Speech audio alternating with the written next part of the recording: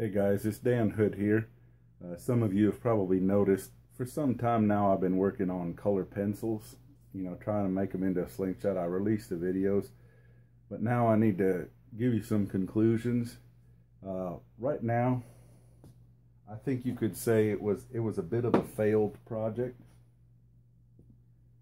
Um, I, I did two options. I did one where I put it in put it in um, cactus juice and tried to get it to get it to fill up and get it to stabilize. Uh, here's what happened. Okay, the colors on the outside ran everywhere. Okay, colors on the inside ran everywhere. Okay, that just happens because that's what the resin does. Then I took another option you saw where I just bunched them together and poured resin down it you know, I was able to get this far on a Conus. Okay. The only problem is you can see, I mean, the lead falls out in some places. The gaps aren't as good. Now, my conclusions. I bought some really cheap color pencils at Walmart. They were round. They had color on the outside. And for the most part, I think the wood on them is pine okay? That's what color pencils are. They function correctly here in the U.S. I think if you really wanted to do this correctly, there, there are fancier color pencils. They're a lot more expensive. Um, first of all, I think the angled sides might work better, okay? Because you can glue them together individually. They fit together a little tighter. You can do a whole bunch of things. You could probably also use the circular ones. I'm not saying there's anything wrong with the circular ones. It's just harder to get them.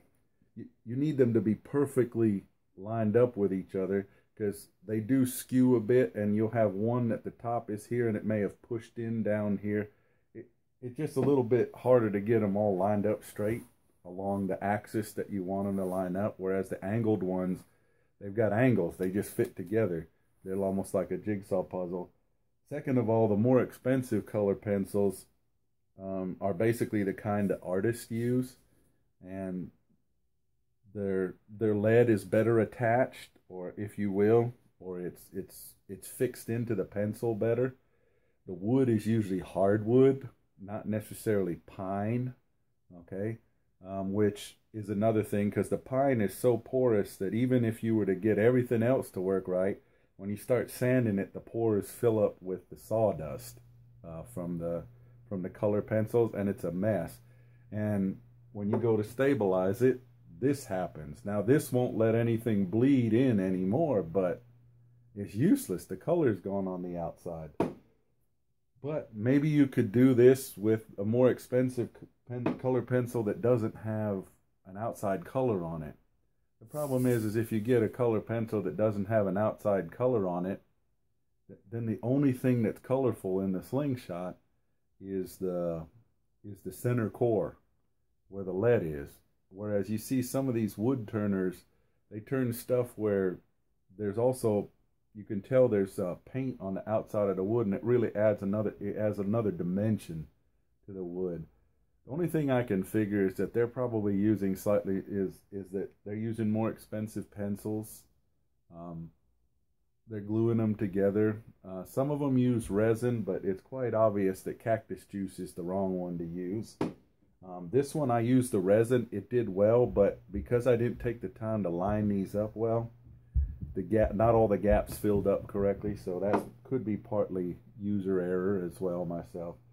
But then when I got to sanding, the lead started falling out because it wasn't glued in right. Once again, cheap color pencils, more expensive, probably would have changed it. But anyway, I've pretty much abandoned this project. This, I might keep this. It might make a good palm swell someday, but it looks ugly as sin. So I'm just going to throw it away for now. This Conus, well, it, it'll go on my table over here. And if I feel like revisiting it someday, I might, but right now it's too annoying. Anyway, that's my conclusion on color pencils. The thing is, is to experiment and buy really expensive, nice hardwood pencils. Maybe in Europe they're just common on the street, but here in the US they're not, and they're pretty expensive, so I'm not going to pursue it any further from now on. But if any of you other guys want to, feel free. And if you discover something, share it with the rest of us. In the meantime, Dan Hood signing out.